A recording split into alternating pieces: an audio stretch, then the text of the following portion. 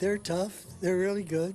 U.S. is going for the third championship. Our U.S. team is very dynamic. They're the great mix of veterans and new players. There's a lot of reason to be excited about the U.S. Women's World Cup team. A lot of that has to do with Bay Area players. Alex Morgan. Striker Alex Morgan, always a huge favorite among Bay Area residents. At Elite Sports in the Mission District, you'll find We have uh, a lot of the women's national team shirts.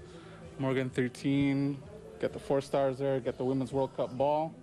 And I have a lot of retro shirts as well if you're looking for older ones. On the pitch, soccer stars Alex Morgan, Megan Rapinoe, and Kelly O'Hara are among 10 players with Northern California connections. They will all represent the U.S. at the 2023 FIFA Women's World Cup.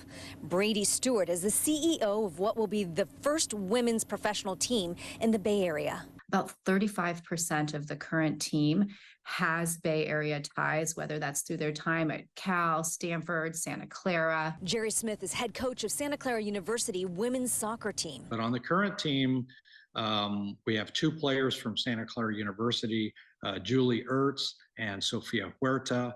And of course, from Cal Berkeley, we have Alex Morgan.